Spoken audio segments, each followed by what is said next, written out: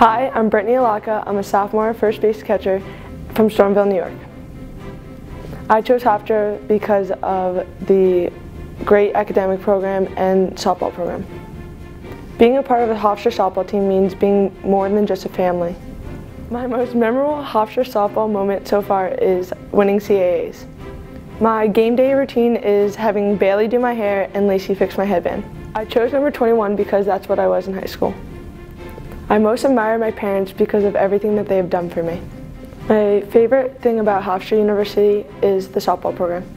After I receive my degree from Hofstra University, I want to be a trainer. I would like to say to my fans is thank you for all your support and see you in the spring.